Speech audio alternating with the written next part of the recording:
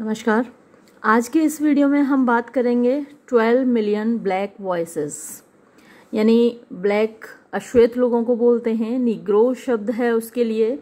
तो मिलियन, दस लाख को बोलते हैं। 12 मिलियन, यानी 12 मिलियन काली या अश्वेत आवाज़ें। यानी ब्लैक लोगों की आवाज़ें, निग्रो लोगों की आवाज़ें। आप को ये तो ज्ञात ही होगा कि यूरोप में एक परंपरा रही थी पहले, गुलामी की प्रथा रही थी। गुलाम के रूप में खरीदा बेचा जाता था इन निग्रोज को। और बड़ी ही दुर्दशा रही थी, बहुत बुरी कंडीशंस रही थी इन लोगों की। जैसे हमारे भारत में भी जो शूद्र लोग थे चार वर्णों में बांटा गया था समाज को ब्राह्मण, क्षत्रिय, वैश्य और शूद्र। तो जैसा एक अमानवीय व्यवहार शूद्र लोगों के साथ हुआ। वैसा ही बल्कि उससे ज़्यादा बदतर जो व्यवहार है वो गुलामों के साथ हुआ यूरोप में। तो ये उन्हीं गुलामों की आवाज़ें हैं उन्हीं अश्वेत लोगों की आवाज़ें हैं। अमेरिका में हालाँकि गुलामी प्रथा अब सभी जगह ख़त्म हो गई। तो आ, लेकिन उनके साथ होने वाला अन्याय ख़त्म नहीं हुआ है। वो होता भी नहीं है, समाज आसानी से बदलता नहीं है अपनी विचारधाराओं को। तो चलिए सुनते हैं रिचर्ड राइट की आवाज़ में, यानी रिचर्ड राइट जो लेखक है, जिसने ये लिखा है। ये एक्चुअली एक किताब है, जिसमें कि बहुत सारी तस्वीरें हैं फोटोग्राफ्स हैं और उनका डिस्क्रिप्शन है। तो उसी किताब का एक अंश है जो आप आज मेरे साथ पढ़ने वाले हैं। The word Negro. ये जो नीग्रो शब्द है, द टर्म एक ऐसा शब्द बाय विच जिसके द्वारा ओरली मौखिक रूप से और इन प्रिंट या फिर लिखित रूप में वी ब्लैक फॉक हम काले लोग इन द यूनाइटेड स्टेट्स यानी संयुक्त राष्ट्र संयुक्त राज्य, अमेरिका को बोला जाता है यूनाइटेड स्टेट्स और यूके यूनाइटेड किंगडम इंग्लैंड को बोला जाता है। USA United States of America तो in the U S United States यानी अमेरिका में आर यूजुअली डेजिग्नेटेड यूजुअली प्राय डेजिग्नेटेड माने हमारा नामकरण किया जाता है, हमें पुकारा जाता है निग्रो नाम से।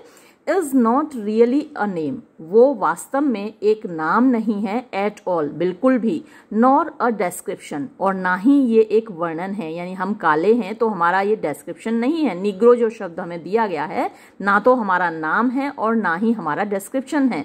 बट बल्कि अ साइकोलॉजिकल आइलैंड एक साइकोलॉजिकल माने मनोवैज्ञानिक आइलैंड द्वीप है, एक मनोवैज्ञानिक द्वीप है हुज ऑब्जेक्टिव फॉर्म ऑब्जेक्टिव होता है वस्तुपरक फॉर्म आकार, यानी जिसका के जो ऑब्जेक्टिव फॉर्म है, यानी वस्तुपरक आकार है, रूप है जिसका is the most unanimous fiat ये एक मोस्ट माने सबसे ज़्यादा यूनेनिमस मतलब होता है जो एक मत से दिया गया। सबने सबकी ओपिनियन मिलाकर जब कोई काम होता है तो वो यूनेनिमस कहलाता है। तो ये एक सर्वसम्मति से दिया गया। फिएट माने ऑर्डर है, आज्ञा है कमांड है। इन ऑल अमेरिकन हिस्ट्री पूरे अमेरिका के इतिहास में। अ एक ऐसा आदेश बटरेस्ट जिसको के संबल दिया गया है, बल दिया गया है, पाला पोसा गया है by popular and national tradition popular माने लोकप्रिय नेशनल माने राष्ट्रीय ट्रेडिशन माने परंपरा। यानी लोकप्रिय और राष्ट्रीय परंपराओं के द्वारा इस फिएट को, इस कमांड को बल दिया गया है। एंड रिटन डाउन और लिखा गया है in many state and city statutes in many माने बहुत सारे स्टेट माने राज्य के एंड सिटी और शहरों के स्टेट्यूट्स माने नियमों में, कानूनों में.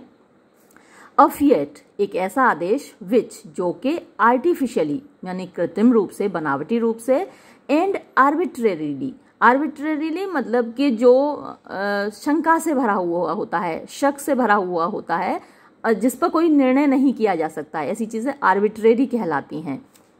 या फिर मनमाने ढंग से जो काम किए जाते हैं, वो भी आर्बिट्रेरी कहलाते हैं। तो यहाँ मनमाने ढंग से ही ज़्यादा सही अर्थ होगा।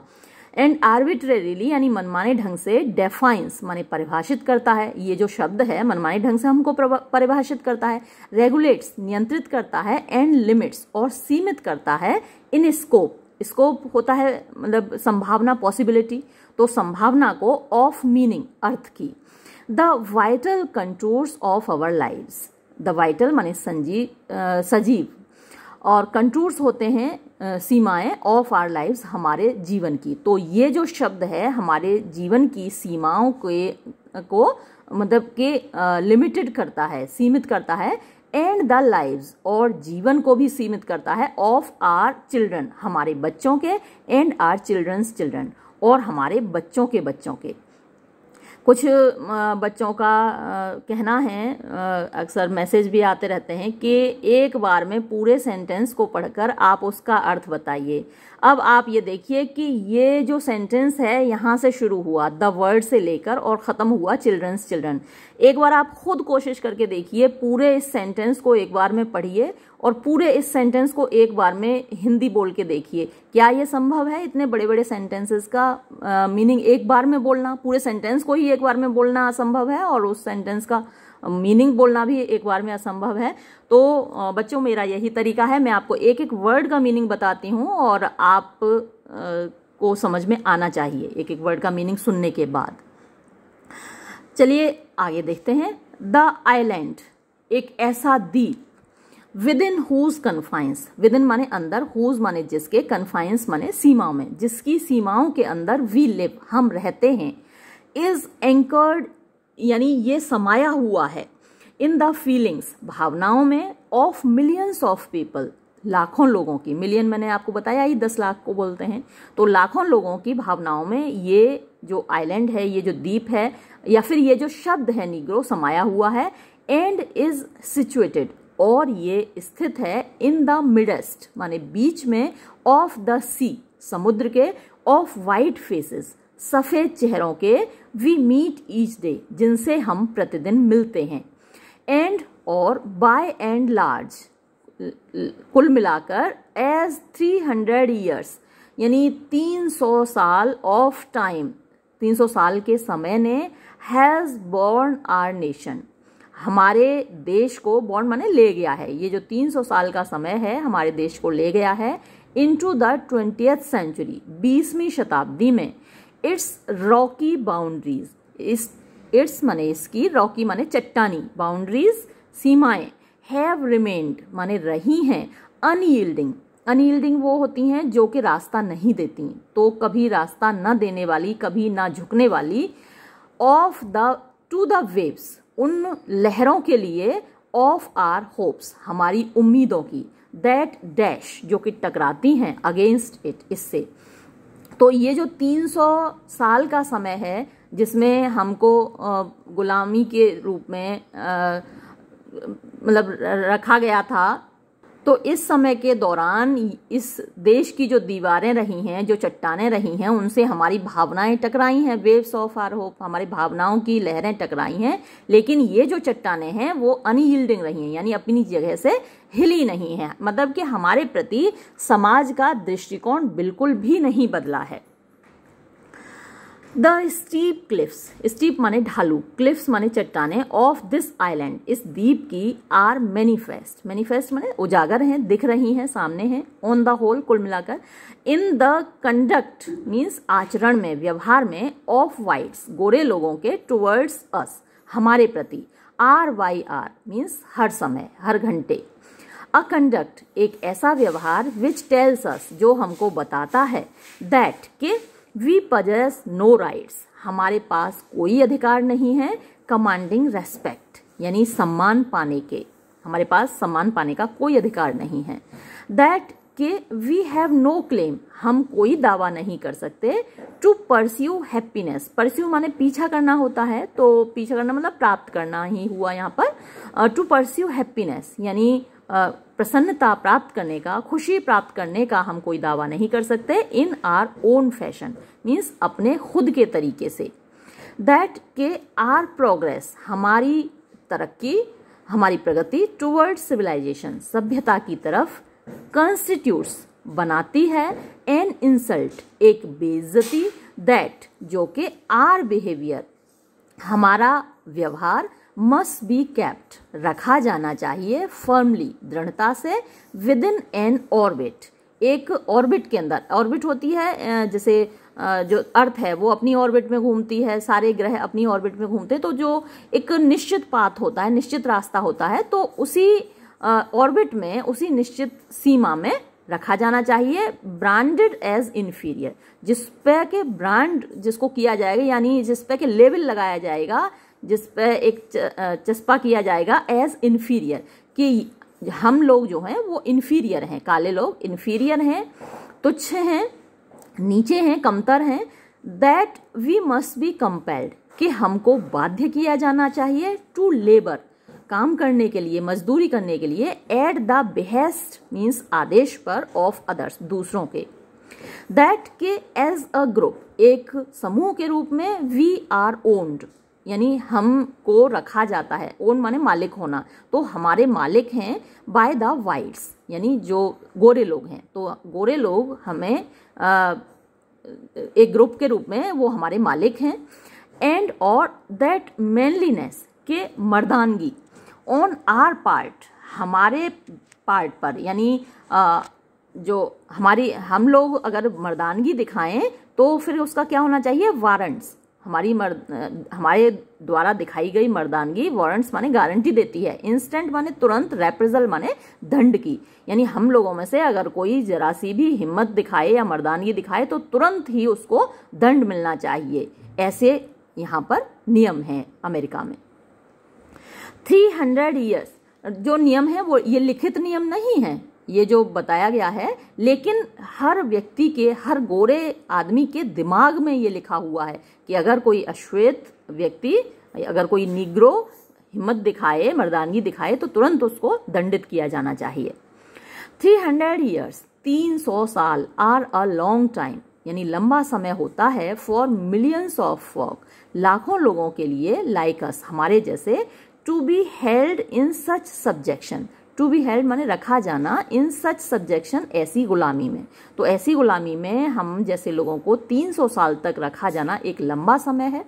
सो लॉन्ग अ टाइम इतना लंबा समय दैट के परहैप्स शायद स्कोर्स ऑफ़ ईयर्स बीसियों साल वी हैव टू पास हमें गुजारने होंगे बिफोर इससे पहले के we shall be able to express हम अभिव्यक्त कर सकें, हम बता सकें, यानी जो हमने झेला है, वो हम अगर किसी को बताना भी चाहें तो हमको बीसियों साल लगेंगे बताने में।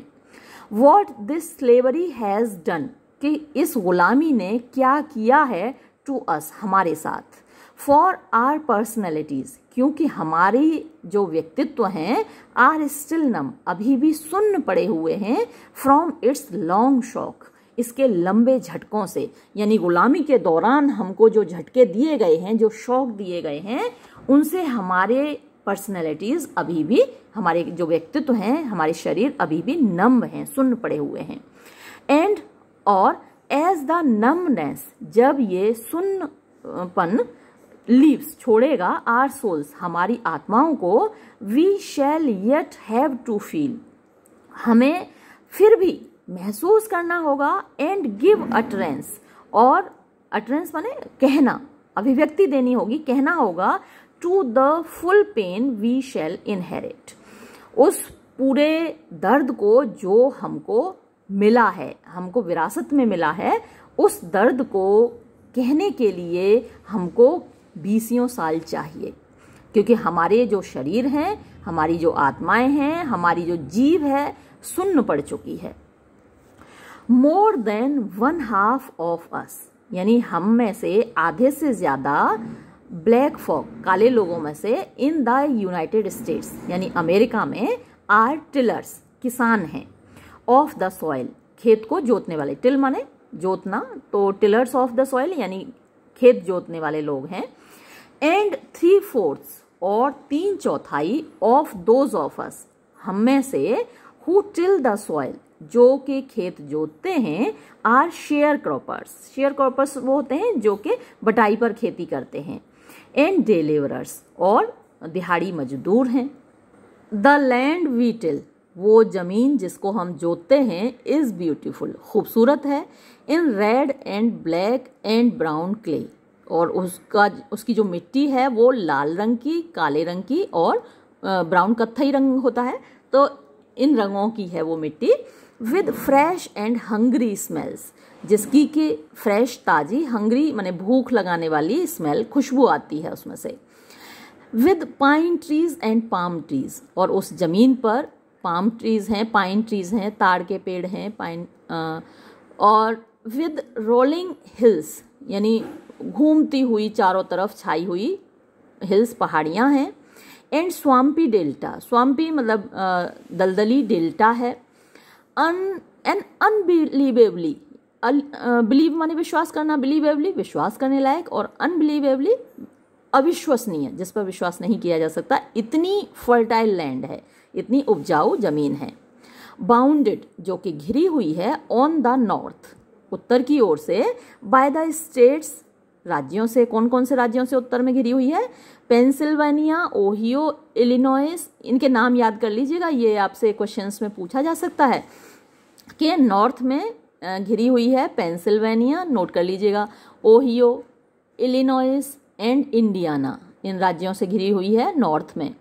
ऑन द साउथ, दक्षिण में, by the Gulf of Mexico Mexico की खाड़ी से, ऑन द वेस्ट पश्चिम में by the Mississippi river Mississippi नदी से एंड ऑन द ईस्ट और पूर्व की ओर बाय द अटलांटिक ओशन तो सारी दिशाओं को याद करना है आपको, और किस किस दिशा में किस किस चीज़ से घिरी हुई है वो जगह, वो आपको याद रखना है। ये शॉर्ट आंसर टाइप क्वेश्चंस या मल्टीपल चॉइस क्वेश्चंस में आपसे पूछा जा सकता है। आर सदर्न स्प्रिंग्स, हमारे जो दक्षिण के स्प्रिंग होते हैं झरने, आर फिल्ड भरे हुए हैं विद क्वाइट नोइजेस क्वाइट माने शांत नोइज माने शोर। तो ये एक तरीके से ऑक्सीमोरन भी हुआ। शोर कैसे क्वाइट हो सकता है? और जो क्वाइट है वो शोर कैसे हो सकता है? लेकिन वो धीमी धीमी आवाज़ें आती रहती हैं साउथ से स्प्रिंग की, झरनों की। तो our southern springs are filled with हमारे दक्षिण के झरने भरे हुए हैं विद क्वाइट नॉइजेस शांत शोर से एंड सीन्स ऑफ़ ग्रोथ और दृश्यों से ऑफ़ ग्रोथ माने पैदावार के। एप्पल बर्ड्स सेब की कलियाँ, लाफ, हंसती हैं इनटू ब्लॉसम फूलों के रूप में, यानी कलियाँ खिलकर फूल बनती हैं और हंसती हैं सेब की कलियाँ। Honeysuckles creep up the sides of houses honeysuckles यानी जो शहद चूसने वाले हैं ये तो उसका शाब्दिक अर्थ हुआ लेकिन हनी सकल भंवरों के लिए या उनके लिए नहीं आया यहाँ पर।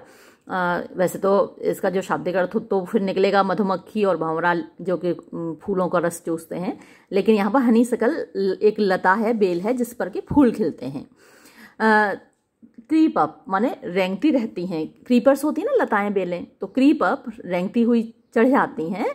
The sides of our houses the sides of houses यानी घरों के चारों ओर यानी दीवारों पर दीवारों के सहारे सहारे चढ़ जाती हैं ये लताएँ। सनफ्लावर्स यानी सूरजमुखी के फूल नॉड माने सिर हिलाते हैं इन द हॉट फील्ड्स गर्म खेतों में। फ्रॉम मौसी ट्री टू मौसी ट्री मौसी मतलब uh, जिन पे के uh, काई जम जाती है बारिश होती है पानी uh, बरसता है और फिर उससे काई जम जाती है तो काई लगे हुए पेड़ों से मतलब यहाँ से वहाँ तक फैले होते हैं mossy tree to mossy tree oak, elm, willow aspen, sycamore और ये सब पेड़ों के नाम हैं जो अमेरिका में मिलते हैं।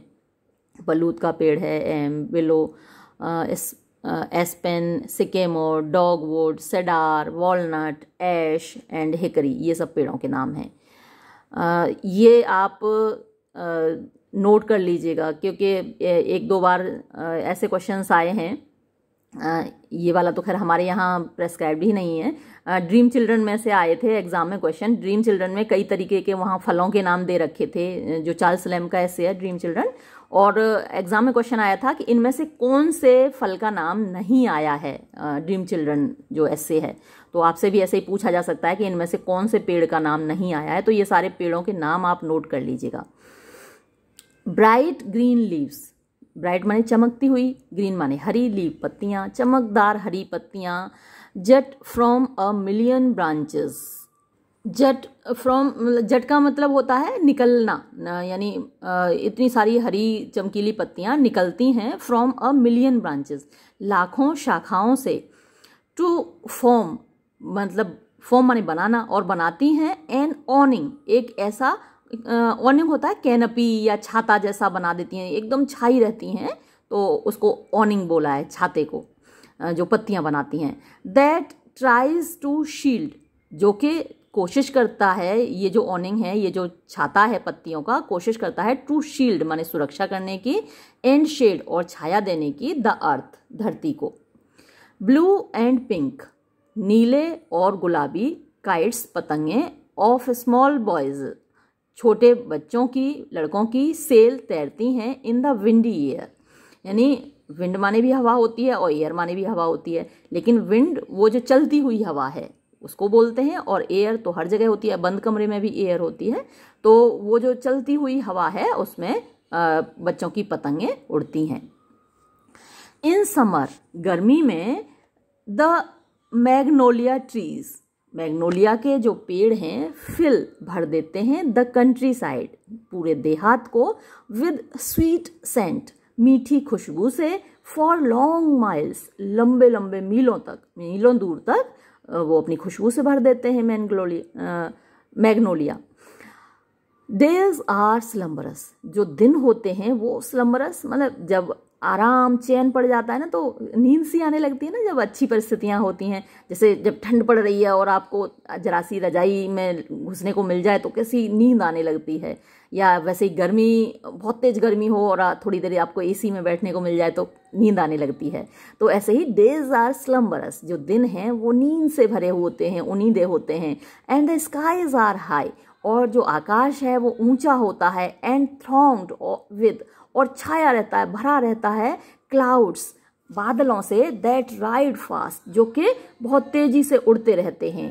एट मिड डे दोपहर में द सन ब्लेजेस सूरज चमकता है एंड ब्लीचेस और सुखा देता है द सॉइल मिट्टी को।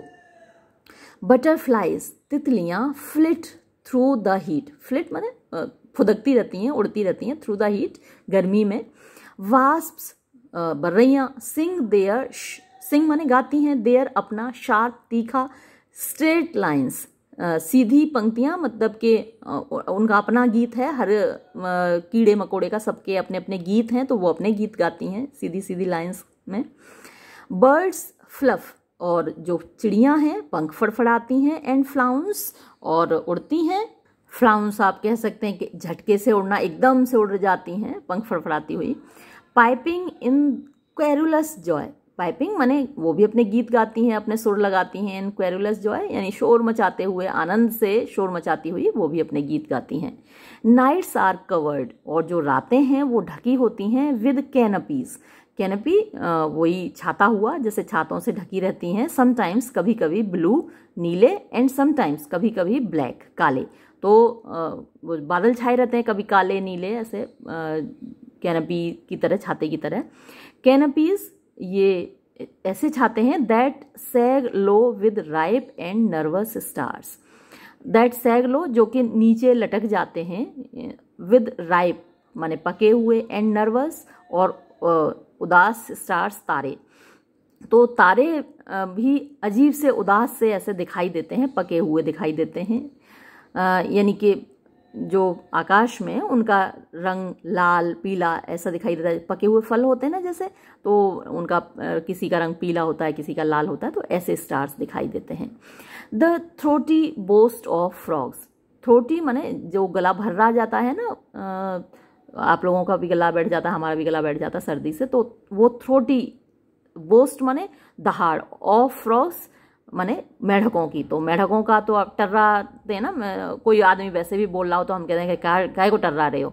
तो जो मेढकों की भारी आवाज़, थ्रोटी, भारी आवाज़, पोस्ट उनकी दहाड़ और फ्रॉक्स मेढकों की मोमेंटरीली यानी हर पल ड्राउंस आउट माने डुबा देती है द कॉल मीन्स आवाज़ को एंड काउंटर कॉल और बदले में दी गई आवाज़, एक दूसरे को ऐसा लगता है, एक ऑफ़ क्रिकेट्स माने झींगुरों की। तो एक झींगुर बोलेगा, फिर दूसरा झींगुर बोलेगा, फिर पहला झींगुर बोलेगा। तो ऐसा लगता है जैसे कॉल और काउंटर कॉल चल रही हो, बातचीत चल रही हो उनकी आपस में।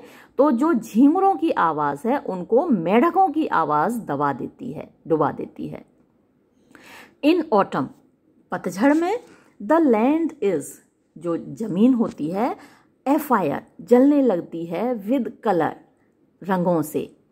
रेड एंड ब्राउन लाल और कत्थई लीव्स पत्तियाँ लिफ्ट उड़ती हैं एंड फ्लटर और फड़फड़ाती हैं ड्राईली सूख कर बिकमिंग एंटेंगल्ड और वो उलझती हैं in the stiff grass stiff माने कठोर घास से एंड कॉर्न स्टाक्स कॉर्न माने अनाज होता है स्टाक्स उसके पेड़ अनाज के पेड़ों से या फिर जैसे अनाज को काट लेते हैं तो उसके ठूंठ रह जाते हैं, वो भी स्टॉक कहलाते हैं। तो अनाज के पेड़ों से वो उलझती हैं। कॉटन इज़ पिग्ड, कॉटन रुई इज़ पिग्ड, चुनी जाती है। रुई का फूल खिलता है और फिर उसमें से रुई लोग बीनते हैं। तो कॉटन इज़ पिग्ड, रुई को चुना जाता है। एंड गिंड गिंड का मतलब होता है रुई में दाने होते हैं, जिन्हें बिनौले बोलते हैं। और उनको अलग करने का जो प्रोसेस है, वो गिन कहलाता है। तो रुई को चुना जाता है और उससे बिनौले अलग किए जाते हैं, यानी बीज अलग किए जाते हैं। केंड केन इज़ क्रश्ड केन गन्ने को बोलते हैं। गन्ने को पेरा जाता है क्रश माने उसको पेरा जाता है कोल्हू में। एंड इट्स जूस और उसका जो रस है is simmered in down into molasses उसको मतलब कि सिमर उसको खोलाया जाता है, गाढ़ा किया जाता है इनटू मोलेसिस माने उसका गुड़ बनाया जाता है। कोल्हू चलते हैं, कोल्हू पर गन्ना पेरा जाता है और गन्ने का गुड़ बनाया जाता है। Yams are grubbed out. Yam एक मतलब एक फल जैसा होता है, वो ज़मीन के अंदर से निकलता है। तो उसको उखाड़ा जाता है, grubbed out of the clay, मिट्टी से उखाड़ा जाता है। Hawks are slaughtered. हॉक्स सुअर को बोलते हैं। आर स्लॉटर्ड माने उनको काटा जाता है। सुअर का पालन होता है और सुअरों को फिर काटा जाता है and cured in lingering smoke cured माने उनको पकाया जाता है उनके मांस को पकाकर लिंगरिंग माने ठहरे हुए स्मोक माने धुएँ में धुएँ में, आग में पकाया जाता है उसको प्रिजर्व किया जाता है। क्योर माने प्रिजर्व करना होता है पका के प्रिजर्व करना। तो उसको सुअर के मांस को पका के प्रिजर्व किया जाता है। कॉर्न इज़ हस्क कॉर्न माने अनाज, और हस्क होता है उसके अनाज के ऊपर का जो छिलका होता है, उसको अलग करना और अनाज को उसमें से निकालना। तो अनाज को पीट के उसका छिलका अलग किया जाता है एंड ग्राउंड और उसको पीसा जाता है इनटू मील माने आटे के रूप में। मील माने वैसे भोजन होता है, लेकिन यहाँ आटा आएगा। एट ट्विलाइट यानी संध्या के समय। ट्विलाइट दो बार होती है, एक तो सुबह भी होती है, रात और दिन मिलते हैं, और शाम के समय भी रात और दिन मिलते हैं। तो ये यहाँ पर संध्या वाला ही है। तो ट्विलाइट में, यानी गोधूली की बेला में the sky is full of आकाश भरा होता है वाइल्ड गीज जंगली बतख विंगिंग उड़ती हुई एवर हमेशा साउथवर्ड दक्षिण की ओर। तो ये देखिए नोट करिएगा कि जो वाइल्ड गीज हैं, वो किस तरफ़ उड़ती हैं? साउथवर्ड ये मल्टीपल चॉइस क्वेश्चंस ऐसे तरीके से पूछ लिए जाते हैं, इसलिए आपको चैप्टर को बहुत माइन्यूटली पढ़ना होता है। एंड बैट्स जर्क और बैट्स माने वो होती हैं चमगादड़। जर्क मीन्स वो झटके खाते हुई निकलती हैं थ्रू द एयर हवा में। देखा होगा, अचानक से उड़ के आती है चमगादड़ शाम के समय। एट नाइट रात में द विंड्स ब्लो। हवाएँ चलती हैं फ्री, आज़ादी से। खूब तेज हवाएँ चलती हैं रात को।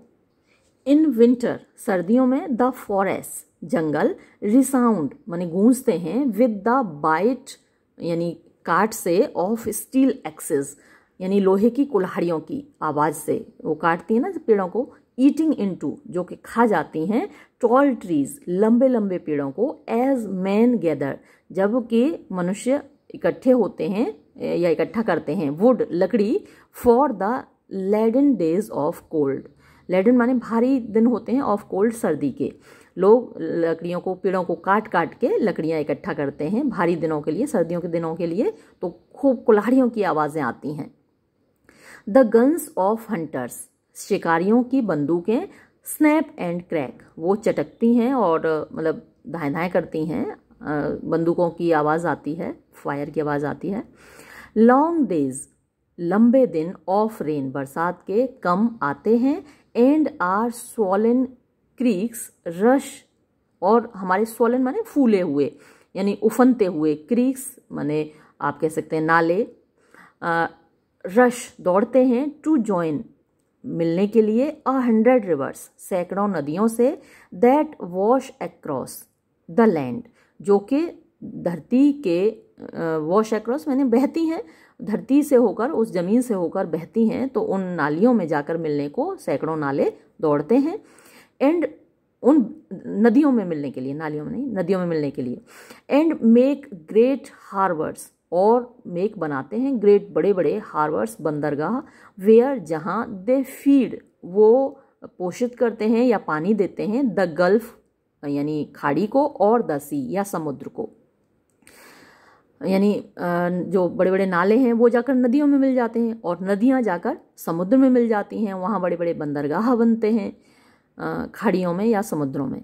अकेजनली कभी कभी द रिवर्स नदियाँ लीप देयर बैंक्स लीप माने उछल जाती हैं ओवरफ्लो कर जाती हैं देयर बैंक्स अपने किनारों से। यानी बहुत ज़्यादा पानी होता है तो किनारों से बाहर निकल जाता है पानी एंड लीव और छोड़ देती हैं new thick layers.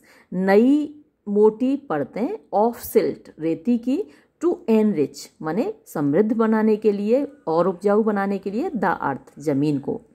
And then, और तब the look of the land, ज़मीन का दृश्य, ज़मीन का नज़ारा इज़ गैरिश गैरिश, आप भूरा कह सकते हैं, गैरिश भूरा हो जाता है, ब्लीक, बेरंग हो जाता है सफ्यूज विद सफ्यूज बने भर जाता है और फ़र्स्ट डे स्टिलनेस, यानी शुरुआती दिनों की शांति से, स्ट्रेंजनेस, विचित्रता से एंड ओ एक डर से, यानी बड़ी अजीब सी हालत हो जाती है। वहाँ का जो नज़ारा है एकदम से अलग सा हो जाता है। जब बाढ़ आ जाती है और नदियाँ ओवरफ्लो हो जाती हैं तो दोनों ही तरीके के जब कभी बाढ़ आती है या नदियाँ एकदम से पानी लेके आती हैं तो दो तरीके के एक फ़ायदा होता है, एक नुकसान होता है। नुकसान तो ये होता है कि भाई घर बार में भी पानी भर जाता है कुछ लोग डूब जाते हैं, बह जाते हैं, लेकिन वो जो बाढ़ें आती हैं, वो अपने साथ बड़ी उपजाऊ मिट्टी भी लेकर आती हैं तो उस ज़मीन को जहाँ पर आती है बाढ़, उस ज़मीन को बड़ी उपजाऊ बना देती है। बट लेकिन वेदर इन स्प्रिंग और समर और ऑटम और विंटर चाहे स्प्रिंग यानी बसंत का मौसम हो समर गर्मी हो ऑटम पतझड़ हो और विंटर या फिर सर्दी हो।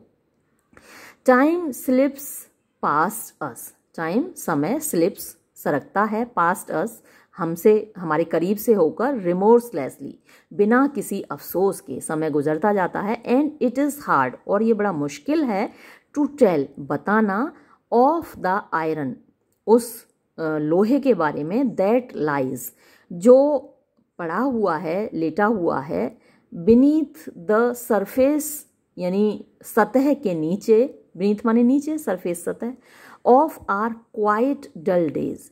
हमारे जो शांत उबाऊ दिन हैं, उनके नीचे जो लोहा गर्म खोलता हुआ लावा जो पड़ा हुआ है, उसको बताना बड़ा मुश्किल है। टू पेंट द पिक्चर तस्वीर को खींचना तस्वीर को बनाना ऑफ़ हाउ कि कैसे वी लिव हम रहते हैं on the tobacco cane rice and cotton plantations tobacco तंबाकू होता है केन गन्ना होता है राइस चावल होता है और कॉटन कपास होती है। तो इनके प्लांटेशन माने खेतों में उनके फार्म में आ, हम कैसे रहते हैं इसकी तस्वीर बनाना इज़ वो है टू कम्पीट माने प्रतिस्पर्धा करना राइवलरी करना विद माइटी आर्टिस्ट बड़े बड़े कलाकारों से, ताकतवर कलाकारों से प्रतिस्पर्धा करना होगा राइवलरी करना होगा, अगर हम तस्वीर खींचना चाहें कि हम कैसे रहते हैं उन खेतों में। द मूवीज़ माने फ़िल्में द रेडियो द न्यूज़पेपर्स अखबार द मैगजीन्स पत्रिकाएँ एंड इवन द चर्च और यहाँ तक कि चर्च के साथ भी हम राइवलरी कर रहे होंगे कंपटीशन कर रहे होंगे, अगर हम ये बताना चाहें, इन सब के साथ कंपटीशन करना होगा, अगर हम ये बताना चाहें कि हम वहाँ रहते कैसे हैं। दे हैव पेंटेड उन्होंने चित्रित की है, यानी इन सबने मूवीज़ ने फ़िल्मों ने रेडियो ने न्यूज़पेपर्स ने मैगजीन्स ने, और यहाँ तक कि चर्च ने पेंट की है वन पिक्चर एक तस्वीर। चार्मिंग जो बड़ी खूबसूरत है, आकर्षक है आइडलिक आइडलिक भी वही होता है जो जहाँ पर हरियाली दिखाई जाती है हरी भरी तस्वीर रोमांटिक बड़ी कल्पनाओं से भरी हुई खूबसूरत सी तस्वीर but we live another लेकिन हम एक दूसरी तस्वीर जीते हैं। यहाँ जो दिखाई जाती है, फ़िल्मों में जो दिखाई जाती है, खेतों की एक तस्वीर दिखाई जाती है, जो बड़ी खूबसूरत होती है। गाँव अगर दिखाए जाते हैं फ़िल्मों में तो बड़े खूबसूरत से गाँव दिखाए जाते हैं। लेकिन जो वास्तविकता है, वो दूसरी होती है। But we live another लेकिन हम जो जीते हैं, वो दूसरी ही तस्वीर जीते हैं। फुल ऑफ़ द फियर डर से भरी हुई. Of the lords of the land ज़मीन के मालिकों के डर से भरी हुई। बोइंग एंड ग्रिनिंग बोइंग माने सर झुकाते हुए एंड ग्रिनिंग और मुस्कुराते हुए वैन वी मीट जब हम मिलते हैं वाइट फेसेस सफ़ेद चेहरों से, यानी गोरे लोगों के चेहरों से। गोरे लोगों जब हमारे सामने हों तो हमें उनके सामने सिर झुकाना होता है और मुस्कुराना होता है। टॉयलिंग मेहनत करते हुए फ्रॉम सन टू सन यानी सुबह से शाम तक, सूरज निकलने से सूरज डूबने तक। लिविंग रहते हुए इन अनपेंटेड जो बिना पेंट हुए, बिना पुताई के वुडन लकड़ी के शेक्स यानी आप कह सकते हैं जो हट्स हैं, ऐसे ही बना दिए जाते हैं एक के ऊपर एक तख्ते रख के, लकड़ी के शेक्स बना दिए जाते हैं मतलब कि झुग्गी झोंपड़ी, ये आप कह सकते हैं। दैट सिट कैजुअली जो कि सिट माने रखे होते हैं कैजुअली यूँ ही, ऐसे ही, बेतरतीब।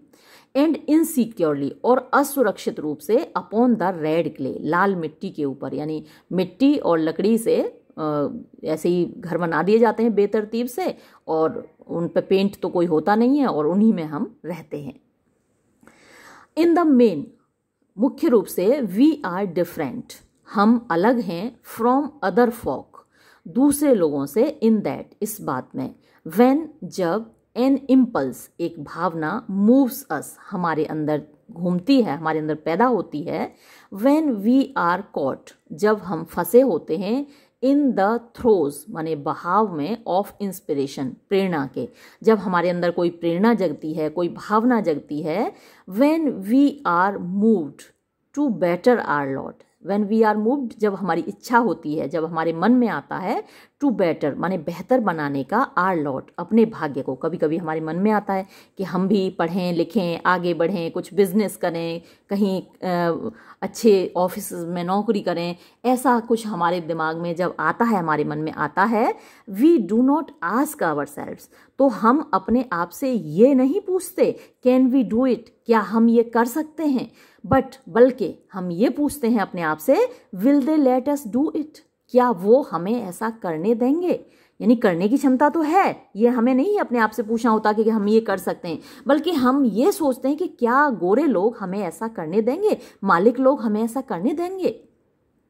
बिफोर, इससे पहले के वी ब्लैक फॉक, हम काले लोग कैन मूव, यानी हिल सकें, कुछ और सोच सकें, काम कर सकें, we must first look into तो हमें पहले देखना होता है द वाइट मैंस माइंड।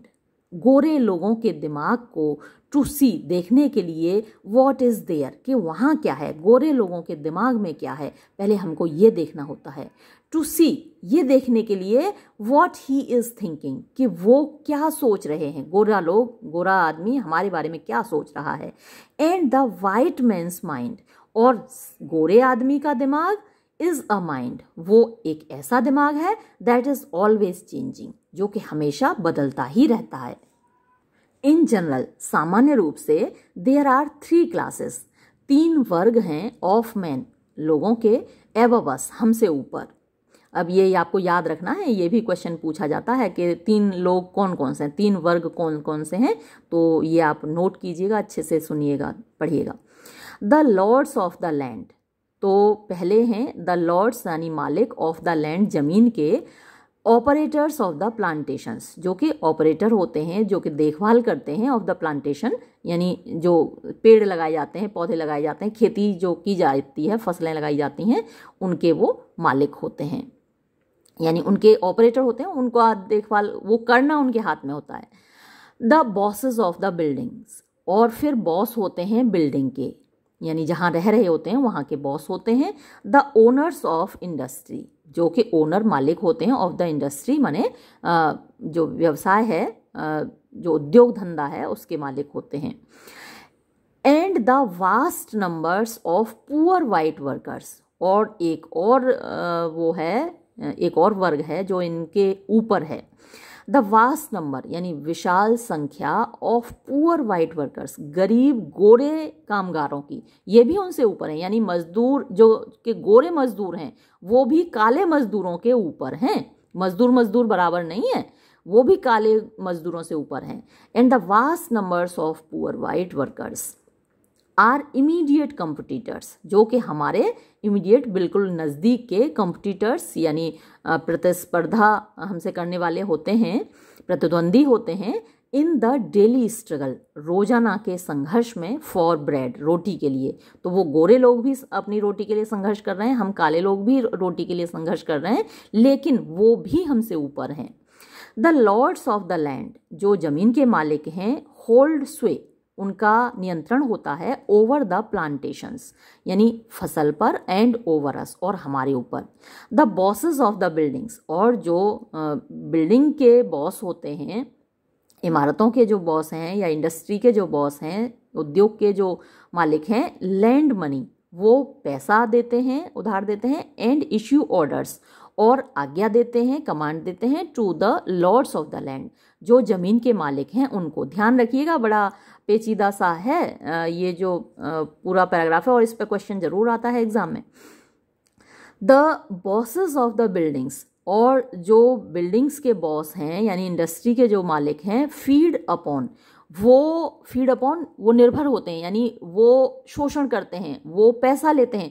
उनको, उनकी जो इनकम होती है, वो कहाँ से आती है? The lords of the land जो ज़मीन के मालिक हैं, उनसे।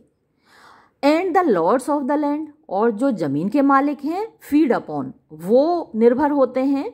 द अरे, बड़ी लंबी संख्या है, इकाई, दहाई, सैकड़ा, हज़ार, दस हज़ार, लाख और दस लाख तो पचास लाख, यानी फिफ्टी लैख लैंडलेस यानी बिना ज़मीन वाले, भूमिहीन पुअर वाइट्स गरीब गोरों पर एंड अपॉनस और हमारे ऊपर throwing to the poor whites the scant solace of filching from us अच्छा पूरा समझ में नहीं आएगा, बहुत लंबा सेंटेंस है तो फिर वही, मुझे तो तोड़ तोड़ के ही बताना पड़ता है, क्योंकि पूरा सेंटेंस आपकी समझ में भी नहीं आएगा एक बार में।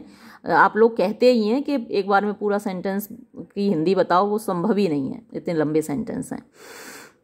तो अब जो लॉर्ड्स ऑफ़ द लैंड हैं, ज़मीन के जो मालिक हैं, वो निर्भर हैं पचास लाख तो ये हो गए लैंडलेस पुअर वाइट्स, जो बिना ज़मीन वाले गरीब, गोरे लोग हैं, एंड अपॉनस और हमारे ऊपर थ्रोइंग डालते हुए टू द पुअर वाइट्स यानी गरीब गोरों के लिए द स्केंट सोलेस स्केंट माने बची कुची सोलेस माने राहत और फिल्चिंग फ्रॉम अस यानी फिल्च माने होता है कचोटना फ्रॉम अस हमसे हमसे नोच नोच के यानी हमसे भी नोचते हैं ये पचास लाख जो गरीब गोरे लोग हैं। और हम ये चालीस लाख हुए। हम जो चालीस लाख लैंडलेस ब्लैक्स हैं, बिना ज़मीन वाले काले लोग हैं वॉट द पुअर वाइट्स जो कि गरीब गोरे लोग हैं देमसेल्व्स आर चीटेड उनको धोखा दिया जाता है of in this elaborate game ये जो एलेबोरेट बहुत बड़ा खेल है यानी ये जो खेती का और फ़सल का और पैदावार का जो बहुत बड़ा खेल है, उसमें गरीब गोरे लोगों को भी धोखा दिया जाता है और वो जो गरीब गोरे लोग हैं, वो हमसे कचोटते हैं। अच्छा हाँ हमसे कचोटा गरीब गोरे लोगों ने और गरीब गोरे लोगों से कचोटा लॉर्ड्स ऑफ़ द लैंड ने और लॉर्ड्स ऑफ़ द लैंड उनसे कचोटा बॉसेस ऑफ़ द बिल्डिंग है ना? देखिए तो एक एक चेन बन गई। है ना? जैसे कि चेन बनी हुई है तो इसको ज़रा पैराग्राफ को आप ध्यान से देखिएगा। एक, दो बार ध्यान से पढ़िएगा, तब आपकी समझ में आएगा। और इस पर क्वेश्चन ज़रूर आएगा, ये ज़रूर ध्यान रखिएगा। फिर आगे बढ़ते हैं। Back of this tangled process, back माने पीछे। ऑफ़ दिस टेंगल्ड टेंगल माने उलझे हुए प्रोसेस प्रक्रिया। अभी आपने देखा ना, इससे पहले वाला जो पैराग्राफ है, बड़ा उलझा हुआ प्रोसेस है। तो इस उलझे हुई प्रक्रिया के पीछे इज़ अ लॉन्ग हिस्ट्री एक लंबा इतिहास है। वेन जब the emancipation proclamation was sign emancipation होता है उद्धार प्रोक्लेमेशन घोषणा यानी हमारे उद्धार की उद्घोषणा की गई थी साइंड उस पर हस्ताक्षर किए गए थे। और ये कब हुआ था मैंने आपके लिए डेट लिख ली है, अट्ठारह में 1863 में इमेंसिपेशन प्रोक्लेमेशन पर साइन हुए थे। उस पर हस्ताक्षर किए गए थे। देयर वर तो उस वक्त थे सम लगभग ये फिर वही चालीस lakh.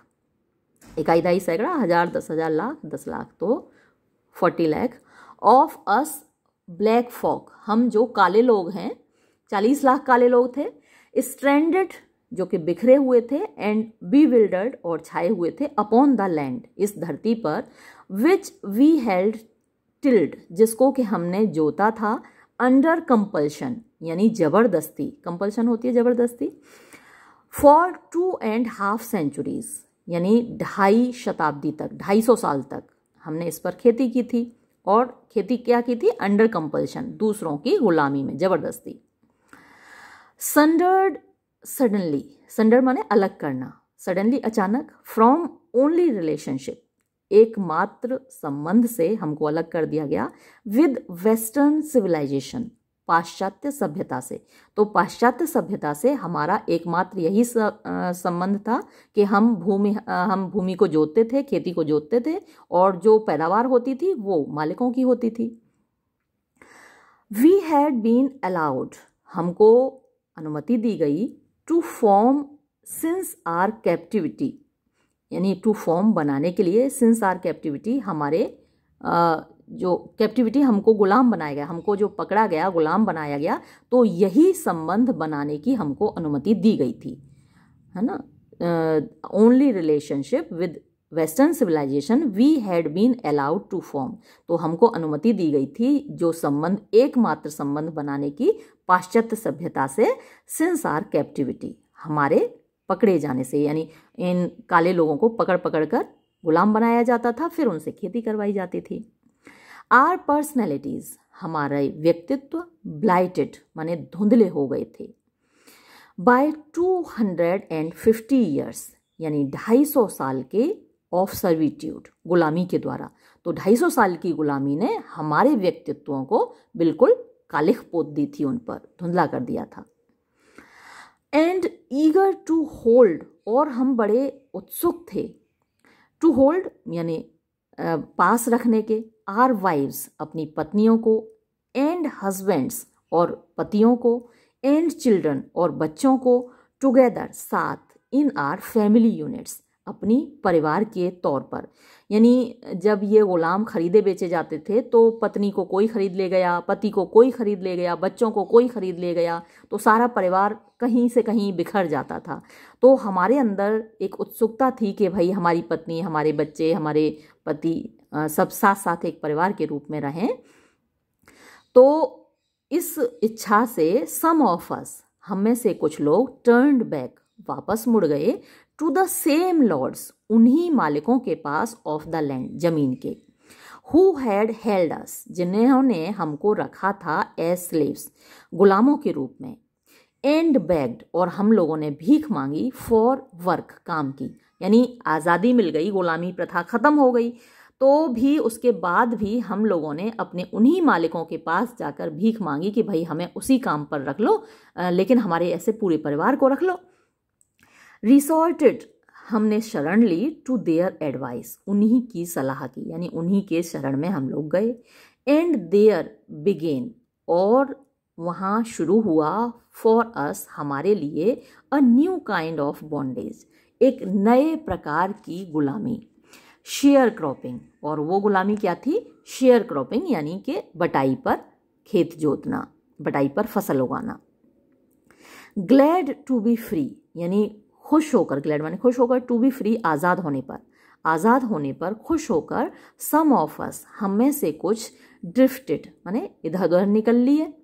And gave way to every vagary of impulse and gave way और हमने रास्ता दे दिया मतलब कि हम झुक गए टू एवरी वेगरी हर सनक के सामने ऑफ़ इम्पल्स भावनाओं की दैट स्वेप्ट थ्रू अस जो कि हमारे अंदर छाई हुई थी। Being held in the line of life being held यानी हम जकड़े हुए थे in the line of life जीवन रेखा में ओनली केवल बाय द नेसेसिटी आवश्यकता से टू वर्क काम करने की एंड ईट और खाने की। कन्फाइंड फॉर सेंचुरीज कन्फाइंड हमको जकड़ कर रखा गया था फॉर सेंचुरीज शताब्दियों तक टू द लाइफ जीवन के में ऑफ़ द कॉटन फ़ील्ड यानी कपास के खेतों में मैनी ऑफ़ अस हम में से बहुतों के पास पजेस्ड नो फीलिंग्स कोई भावना ही नहीं थी ऑफ़ फैमिली परिवार की होम घर की कम्युनिटी समुदाय की रेस प्रजाति की चर्च चर्च की और प्रोग्रेस या प्रगति की। तो हमारी मानसिकता ऐसी हो गई थी कि शताब्दियों तक तो हमको कपास के खेतों में गुलाम बना के रखा गया था। तो अब हम लोगों के अंदर कोई भावना ही नहीं बची थी कि भाई हमारी भी घर हो परिवार हो, समुदाय हो, हम भी चर्च जाएँ, हम भी तरक्की करें। तो बहुत सारे लोगों के अंदर ऐसी कोई भावना थी ही नहीं। We could scarcely believe scarcely मुश्किल से ही, हमें मुश्किल से ही ये विश्वास हो पा रहा था दैट वी वर फ्री कि हम आज़ाद हो गए थे। एंड और आर रेस्टलेसनेस, हमारी बेचैनी एंड इंसेसेंट मोबिलिटी। इंसेसेंट माने लगातार, मोबिलिटी माने घूमना और लगातार घूमना। वर थे आर नेव वे, हमारे नेव माने सामान्य। वे तरीके ऑफ़ टेस्टिंग परीक्षण करने के दैट फ्रीडम उस आज़ादी के। तो अब हम जब आज़ाद हो गए तो पहले तो विश्वास ही नहीं हुआ कि हम आज़ाद हो गए। फिर हम लगातार इधर से उधर घूम कर ये टेस्ट कर रहे थे कि वास्तव में हमें आज़ादी मिली है क्या? जस्ट एज अ किटन जैसे कि एक बिल्ली का बच्चा स्ट्रेचेस यानी अंगड़ाई लेता है एंड योन्स और जमाई लेता है आफ्टर अ लॉन्ग स्लीप एक लंबी नींद के बाद सो so, इसी प्रकार थाउजेंड्स ऑफ़ अस हम में से हज़ारों लोग tramped from place to place घूमने लग गए एक जगह से दूसरी जगह for the sheer sake of moving sheer माने केवल। केवल घूमने की खातिर लुकिंग देखने की खातिर वंडरिंग सोचने की खातिर लैंडलेस अपॉन द लैंड यानी हम लोग जो कि लैंडलेस थे, बिना ज़मीन वाले थे अपॉन द लैंड उस ज़मीन पर घूमने लगे हम लोग। Arkansas Missouri Tennessee, Kentucky, North Carolina, South Carolina, Louisiana, Alabama, Mississippi, Georgia, Virginia and West Virginia became the home states. ये हमारे घर के राज्य हो गए ऑफ़ अस फ्रीड ब्लैक्स। हम आज़ाद काले लोगों के। तो फिर से आप नोट कर लीजिएगा कि इनमें से कौन सा आज़ाद काले लोगों का होम स्टेट नहीं बना। तो ये ये स्टेट्स बने। इन 1890 1890 में मैनी वाइट पीपल बहुत से गोरे लोग प्रेडिक्टेड उन्होंने घोषणा की दैट के वी ब्लैक फॉक हम काले लोग वुड पेरिश बर्बाद हो जाएँगे, ख़त्म हो जाएँगे इन अ कम्पिटिटिव वर्ल्ड एक प्रतिस्पर्धा से कंपटीशन से भरे हुए संसार में। But in spite of this लेकिन इसके बावजूद वी लेफ़्ट द लैंड हमने उस जगह को छोड़ा एंड केप्ट एफ्लोट और घूमते रहे। वॉन्डरिंग घूमते हुए from Natchez to New Orleans Natchez से न्यू ओरलियंस तक फ्रॉम मोबाइल टू मांटगोमरी ये मोबिली भी हो, होगा, उसका उच्चारण मुझे एग्जैक्टली मोबाइल या मोबिली है। टू मॉन्टगोमरी तक from Macon to Jacksonville Macon से? जैक्सन विले तक? From Birmingham to Chattanooga Birmingham से चट्टानूगा तक? From Nashville to Louisville Nashville से लुइस विले तक? From Memphis to Little Rock Memphis से लेकर लिटिल रॉक तक लेबरिंग मजदूरी करते हुए in the sawmills sawmills क्या होती हैं? वो फैक्ट्री होती हैं जहाँ पर जो पेड़ों के बड़े बड़े लट्ठे होते हैं ना, उनको काट काट के तख्ते बनाए जाते हैं। वो सॉ मिल्स कहलाती हैं यानी चीर लकड़ी की चिराई होती है। तो उन लकड़ी की चिराई होने वाली मज, मिलों में मजदूरी करते हुए and in the turpentine camps ये टर्पेंटाइन कैंप्स होते हैं जहाँ पे तारपीन का तेल बनाया जाता है तो हम वहाँ पे मजदूरी करते रहे। ऑन द रोड जॉब्स यानी सड़क पर जो हमको जॉब मिल गए काम मिल गए उन पर हम काम करते रहे। वर्किंग फॉर मैन उन लोगों के लिए हम काम करते रहे हु डिड नॉट केयर जिनको कोई फ़र्क नहीं पड़ता था इफ़ वी लिव्ड और डाइड ये हम जिए रहे हैं या मर रहे हमारे जीने मरने से जिनको कोई फ़र्क नहीं पड़ता था but who did not want लेकिन जो कि नहीं चाहते थे दे आर बिज़नेस एंटरप्राइजेस यानी उनके जो व्यवसाय हैं टू सफ़र उनका नुकसान हो फॉर लैक ऑफ़ लेबर मजदूरों की कमी से। Daring the first decade daring माने सामना करते हुए द फ़र्स्ट डिकेड पहले दशक का ऑफ़ द ट्वेंटियथ सेंचुरी बीसवीं शताब्दी के more than one and three quarter millions more माने ज़्यादा वन एक और थ्री क्वार्टर मीन्स तीन चौथाई मिलियंस ऑफ़ अस यानी एक और तीन चौथाई, यानी पौने दो मिलियन और एक मिलियन में दस लाख होते हैं। तो पौने दो मिलियन के लगभग ऑफ़ अस हम से एबेंडेंट उन्होंने छोड़ दिया द प्लांटेशंस यानी खेती बाड़ी को अपॉन विच जिनमें के वी हैड बीन बोर्न हम लोग पैदा हुए थे। यानी कुछ लोग फिर भी वहीं बने रहे, लेकिन इतने लोगों ने उन खेतों को छोड़ दिया, जहाँ पर हम पैदा हुए थे। More than a million of us हम में से दस लाख से ज़्यादा लोग रोम्ड घूमते रहे द स्टेट्स राज्यों में ऑफ़ द साउथ, दक्षिण के, and the remainder of us, और बाकी हम में से बचे हुए लोग ड्रिफ्टेड नॉर्थ, उत्तर की ओर चले गए। आर विमेन, हमारी औरतें फेयर्ड ईजियर वो फेयर्ड माने उन्होंने, उनको काम मिल गया, उन ईजियर आसानी से देन वी मैन, जितना के हम पुरुषों को मर्दों को ड्यूरिंग द अर्ली डेज़ शुरुआती दिनों के दौरान ऑफ़ फ्रीडम आज़ादी के। तो आ, हम पुरुषों को मर्दों को तो इतनी आसानी से काम नहीं मिले शुरुआती दिनों में बल्कि हमारी जो औरतें थीं उनको आसानी से उनका काम चल गया।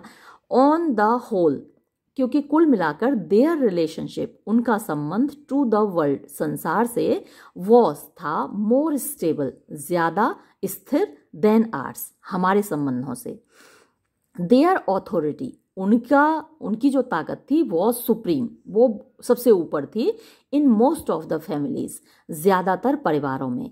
इन एज मच एज क्योंकि ऐसा था कि मैनी ऑफ़ देम उनमें से बहुत सारी औरतें, हमारी जो मतलब निग्रो औरतें थीं हेड वर्कड उन्होंने काम किया था इन द बिग हाउसेस बड़े बड़े घरों में of the lords of the land ज़मीन के मालिकों के बड़े घरों में। एंड हैड लर्नड और उन्होंने सीख लिए थे मैनर्स तौर तरीके।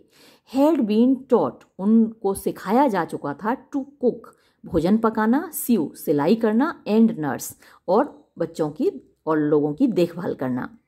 ड्यूरिंग स्लेव डेज़ गुलामी के दिनों में they did not always belong to us वो हमेशा हमारी नहीं होती थीं। फॉर क्योंकि the lords of the land ज़मीन के जो मालिक होते थे ऑफन टुक दैम अक्सर हमारी औरतों को ले जाते थे फॉर देयर प्लेजर अपने मज़े के लिए। When a gang of us जब हम लोगों का एक समूह वॉज़ सोल्ड बेचा जाता था from one plantation to another एक प्लांटेशन से, यानी एक खेती बाड़ी का जो फार्म है, उससे दूसरे फार्म को बेचा जाता था। आर वाइव्स तो हमारी पत्नियाँ वुड समटाइम्स बी केप्ट उनको, हमारी पत्नियों को कभी कभी रख लिया जाता था by the lords of the land ज़मीन के मालिकों के द्वारा। एंड वी मैन और हम जो पुरुष लोग होते थे वुड हैव टू मेट हम लोगों को संबंध बनाने होते थे with whatever slave girl जो कोई भी गुलाम लड़की वी चांस अपॉन हमको मिल जाती थी। Because of their enforced intimacy because of means की वजह से देयर उनकी एनफोर्स्ड माने ज़बरदस्ती की इंटीमेसी घनिष्ठता की वजह से with the lords of the land ज़मीन के मालिकों से मैनी ऑफ़ आर वुमेन हमारी बहुत सारी औरतें after they were too old to work जब वो इतनी बूढ़ी हो जाती थीं कि वो काम नहीं कर सकती थीं वर अलाउड तो भी उनको अनुमति मिल जाती थी टू रिमेन रहने की इन द स्लेव केबिन्स गुलामों के केबिन्स में यानी वहाँ छोटे छोटे कमरे बना दिए जाते थे घर बना दिए जाते थे तो उन स्लेब केबिन्स में टू टेंड यानी देखभाल करने के लिए जेनरेशन्स पीढ़ियों की ऑफ़ ब्लैक चिल्ड्रन काले बच्चों के। तो आ, काले बच्चों की देखभाल करने के लिए वो औरतें वहीं बनी रहती थीं। दे एन्जॉयड वो आनंद लेती थीं अ स्टेटस एक ऐसी अवस्था का डिनाइड अस जो कि हमको नहीं मिलती थी मैन मर्दों को, जो कि हम मर्दों को ऐसी सहूलियत नहीं मिलती थी। बींग कॉल्ड मैमी इन बूढ़ी औरतों को मैमी कहा जाता था। एंड थ्रू द ईयर्स और सालों के दौरान दे बिकम बिकेम वो बन गई सिंबल्स प्रतीक ऑफ़ मदरहुड मातृत्व का रिटेनिंग बनाए रखकर इन देयर विदर्ड बॉडीज अपने मुरझाए हुए शरीरों में द बर्डन बोझा ऑफ़ आर फोक विजडम। हमारे जो लोक ज्ञान था, यानी फोक होता है लोगों का, बिना पढ़े लिखे लोगों का विजडम ज्ञान, जो पीढ़ी दर पीढ़ी जाता है ना जैसे हमारे लोकगीत हैं, लोक साहित्य हैं तो हमारा जो लोक ज्ञान है, इनको पढ़ने लिखने की अनुमति तो थी नहीं गुलामों को तो इनकी अपनी जो कल्चर है, उनकी अपनी जो विजडम है, अपनी कहानियाँ हैं, अपने परंपराएँ हैं तो वो इन्होंने ही बनाए रखा, उसका पूरा बोझा इन्हीं औरतों ने ढोए रखा। रेनिंग एज आर्बिटर्स रेनिंग ये राज कर रही थी एज आर्बिटर्स यानी पंचों के रूप में या फिर मीडिएटर्स के रूप में इन आर डोमेस्टिक अफेयर्स हमारे घरेलू मामलात में अनटिल जब तक के वी मेन वर फ्रीड हम मर्दों को आज़ादी नहीं मिली एंड हैड मूव्ड और हम नहीं चले गए टू सिटीज़ शहरों में वेयर जहाँ कैश पेइंग जॉब्स कैश में पेमेंट मिलना वाला, यानी नगद पैसा मिलने वाले जॉब्स काम इनेबल्ड अस उन्होंने हमें लायक बना दिया टू बिकम बनने के द हेड्स मुखिया ऑफ़ आर ओन फैमिलीज़ अपने खुद के परिवारों का। तो ये जो गुलाम होते थे, इनको कोई पैसे वैसे नहीं दिए जाते थे। बस खाना दे दिया और काम करवाते थे। बहुत सारे आपको मिलेंगी पोइम्स भी मिलेंगी। स्लेव्स ड्रीम एक बहुत अच्छी पोइम है, जो एक गुलाम की व्यथा को दिखाती है। आगे देखते हैं। The economic and political power आर्थिक और राजनीतिक ताकत ऑफ़ द साउथ दक्षिण की इज़ नॉट हेल्ड मीन्स नहीं रही नहीं रही है इन आर हैंड्स हमारे हाथों में।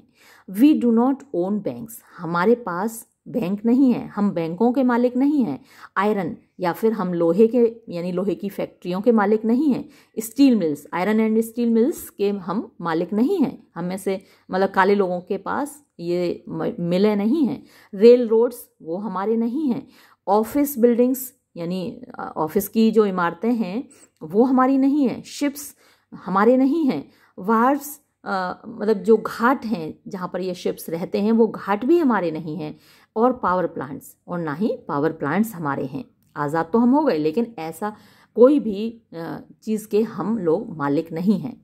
There are some few of us हम में से कुछ लोग हैं हु ऑपरेट जो चलाते हैं स्मॉल छोटे छोटे ग्रोसरी स्टोर्स यानी रोज़मर्रा की चीज़ों के स्टोर यानी दुकानें बार्बर शॉप्स नाई की दुकानें बाल काटने की दुकानें ग्रूमिंग रूमिंग हाउसेस यानी कमरे किराए पर देने वाले घर ब्यूरियल सोसाइटीज़ यानी शवों को दफनाने वाली जो शव मतलब कब्रिस्तान है, उनको चलाते हैं एंड अंडरटेकिंग एस्टेब्लिशमेंट और मतलब हम एस्टेब्लिशमेंट्स यानी घर बनाने का ऐसा काम करते हैं। बट नन ऑफ़ अस लेकिन हम में से किसी के पास भी नहीं ओन्स यानी मालिकाना हक है any of the basic industries किसी भी मूलभूत उद्योग का दैट शेप द कोर्स जो कि रास्ता बनाते हैं ऑफ़ द साउथ दक्षिण का। यानी दक्षिण के, का जो अमेरिका है नॉर्थ अमेरिका साउथ अमेरिका, आपको मालूम ही है तो जो दक्षिण अमेरिका है, उसका जो रास्ता बनाते हैं या उसको संभालते हैं, ऐसे किसी उद्योग के हम मालिक नहीं हैं, सच है जैसे कि माइनिंग यानी खदाने हैं लंबर यानी कि लकड़ी का जो काम है, लकड़ी की मिलें हैं टेक्सटाइल कपड़ों की मिलें हैं ऑयल तेल मिले हैं ट्रांसपोर्टेशन यातायात का व्यवसाय है, और इलेक्ट्रिक पावर या फिर बिजली की बिजली का जो व्यवसाय है, या या बिजली की जो जो भी कारखाने हैं। सो अतः इन द अर्ली स्प्रिंग शुरुआत के स्प्रिंग में, यानी बसंत के मौसम में when the rains have ceased जब बरसात रुक जाती है एंड ग्राउंड इज़ रेडी और ज़मीन तैयार होती है फॉर प्लोइंग जोतने के लिए वी प्रेजेंट आर हम प्रस्तुत करते हैं अपने आप को to the lords of the land ज़मीन के मालिकों के सामने एंड आस्क और हम उनसे कहते हैं टू मेक अ क्रॉप यानी कि हम फ़सल उगा लें उनके लिए। वी साइन अ कॉन्ट्रैक्ट हम एक समझौते पर हस्ताक्षर करते हैं। यूजुअली प्रायः आर कॉन्ट्रैक्ट्स आर ओरल हमारे जो समझौते होते हैं, वो मौखिक होते हैं मतलब साइन वाइन नहीं होते, लिखित में नहीं होते, मौखिक होते हैं विच अलाउज अस जो कि हमको अलाउ करता है, अनुमति देता है टू कीप रखने का वन हाफ़ आधी ऑफ़ द हार्वेस्ट फ़सल को after all debts are paid यानी जब सारे ऋण चुक जाते हैं। ऋण चुकाने में ही चली जाती है सारी फ़सल तो बचता क्या है लोगों को? इफ़ वी हैव वर्कड अगर हमने काम किया है अपॉन दीज प्लांटेशंस इन खेतों पर बिफोर पहले से वी आर लीगली बाउंड तो हम कानूनी रूप से बंधे होते हैं टू प्लांट यानी फ़सल बोने के लिए टेंड उसकी देखभाल करने के लिए एंड हार्वेस्ट और काटने के लिए एन अदर क्रॉप एक और फ़सल। इफ़ वी शुड एस्केप और अगर हम निकल जाएँ टू द सिटी शहर को टू अवॉइड बचने के लिए पेइंग चुकाने से आर माउंटिंग डेट्स हमारे पहाड़ जैसे ऋणों को, कर्जों को वाइट पुलिसमैन तो गोरे पुलिस वाले ट्रैक अस डाउन हमको ढूंढ लेते हैं एंड शिप अस बैक और हमको वापस भेज देते हैं टू द प्लांटेशन उन्हीं खेतों पर। The lords of the land ज़मीन के मालिक असाइन अस हमको देते हैं टेन और फिफ्टीन एकड़्स दस या पंद्रह एकड़ ऑफ़ सॉइल ज़मीन ऑलरेडी ब्लेड जो कि पहले ही ब्लड मैंने खून बहा चुकी है या निचोड़ चुकी है, उसको निचोड़ा जा चुका है ऑफ़ इट्स फर्टिलिटी उसकी उपजाऊपन से, यानी पहले ही उसका उपजाऊपन ख़त्म हो चुका होता है, निचोड़ा जा चुका होता है थ्रू जनरेशन्स ऑफ़ एब्यूज़ यानी पीढ़ियों के एब्यूज़ माने दुरुपयोग से, यानी इतनी ज़्यादा फ़सलें उन्हें उगाई हैं और इतने गलत तरीके से उगाई हैं कि वो मिट्टी बिल्कुल निचुड़ चुकी है तो ऐसी दस पंद्रह एकड़ ज़मीन हमको दे दी जाती है। दे एडवांस अस वो हमको देते हैं एडवांस में वन म्यूल एक घोड़ी वन प्लो एक हल सीड, बीज, टूल्स, कुछ यंत्र, औज़ार, फर्टिलाइज़र, खाद क्लोदिंग कपड़े, एंड सोरगम। सोरगम चारा होता है, मोलासिस और गुड़ गुड़ या खांड होता है, ये सब बस वो हमको प्रोवाइड कराते हैं। If we have been lucky अगर हम भाग्यशाली रहे हों खुश नसीब रहे हों the year before maybe we have saved यानी द ईयर बिफोर माने पिछले साल, अगर हम थोड़े से खुश नसीब रहे हों। Maybe we have saved तो हमने बचा लिए हों अ फ्यू डॉलर्स कुछ डॉलर टू टाइडस जो कि हमको बचाए रखें, हमारा काम चला दें थ्रू द फॉल मंथ यानी पतझड़ के महीनों के दौरान। बट स्प्रिंग फाइंड सस लेकिन बसंत आते आते क्या होता है, हम लोग बैगिंग भीख मांगने लगते हैं इन एडवांस क्रेडिट यानी एडवांस में थोड़ा पैसा लेने की from the lords of the land ज़मीन के मालिकों से। और एक बार जो कर्जा लिया तो फिर वो कर्जा कभी ख़त्म नहीं होता। जैसा कि आपने हमारे यहाँ फ़िल्मों में भी देखा होगा या प्रेमचंद के उपन्यासों में पढ़ा होगा कि गरीब किसान जब एक बार कर्जा लेता है तो उसकी पीढ़ियाँ गुजर जाती हैं लेकिन कर्जा ख़त्म नहीं होता। तो ऐसा ही कुछ इनके साथ होता है। अब पैसा नहीं है तो उनसे भी, भीख मांगना ही पड़ता है कि भाई थोड़ा सा हमें एडवांस क्रेडिट दे दीजिए, फ़सल आने पर चुका देंगे। और फ़सल आने पर वो फिर सारी फ़सल को ले ही लेते हैं मालिक लोग। फ्रॉम नाव ऑन और अब से द लॉज कानून ऑफ़ क्वीन कॉटन यानी रानी कपास के जो नियम हैं रूल आर लाइव्स हमारे ज़िंदगी पर राज करते हैं। कॉन्ट्रेरी यानी विरुद्ध टू पॉपुलर एजम्पन पॉपुलर माने लोकप्रिय एजम्पन माने जो विचार होता है, कल्पना है, यानी जो लोगों की कल्पना है कॉटन इज़ अ क्वीन जो कपास है, वो एक रानी है नॉट अ किंग न कि एक राजा. यानी लोग तो ये मानते हैं कि जो कॉटन है, वो राजा है कॉटन किंग कहलाते हैं. लेकिन इसके विपरीत कॉन्ट्रेरी मानी विपरीत तो इस कल्पना के विपरीत जो कॉटन है, वो रानी है, न कि राजा. किंग्स आर डिक्टेटोरियल राजा जो होते हैं वो तानाशाह होते हैं। कॉटन और जो आ, ये जो कपास है इज़ नॉट ओनली डिक्टेटोरियल ये केवल डिक्टेटोरियल नहीं है केवल तानाशाह नहीं है बट सेल्फ डिस्ट्रक्टिव लेकिन आत्मघाती भी है खुद को बर्बाद करने वाली भी है। एन इम्पीरियस वुमन ये एक ऐसी इम्पीरियस माने ताकतवर औरत है जो कपास है। इन द थ्रोज, जो कि कष्ट में रहती है ऑफ़ कॉन्स्टेंट चाइल्ड बर्थ लगातार बच्चे पैदा करती रहती है। अ वुमन एक ऐसी औरत हु इज़ ड्रिवन जो कि मजबूर होती है बाय हर ग्रीडी पैशन अपनी लालच की जो भावना है, अपनी लालच की भावना के हाथों मजबूर होती है टू बियर माने पैदा करने के एंडलेस बिल्स यानी एंडलेस अनंत बिल्स ऑफ़ कॉटन बिल्स मैंने गठरियाँ ऑफ़ कॉटन रुई की। तो कॉटन की जो खेती है, लगातार होती रहती है। जैसे कि एक औरत है जो लगातार बच्चे पैदा करती रहती हो। दो, यद्यपि शी वेल नोज़ वो अच्छे से जानती है दैट शी विल डाई कि वो मर जाएगी इफ़ शी कंटिन्यूज अगर वो जारी रखती है टू गिव बर्थ जन्म देना टू हर फ्लीसी चिल्ड्रन अपने फ्लीसी चिल्ड्रन फ्लीस उनको बोलते हैं तो जो कपास है जो उसके फ्लीसी चिल्ड्रन है, वो जो ऊन है या जो रेशे निकलते हैं तो अपने रेशे वाले बच्चों को जन्म देते देते वो मर जाएगी, वो जानती है, उसके बावजूद वो बच्चों को जन्म देती ही रहती है।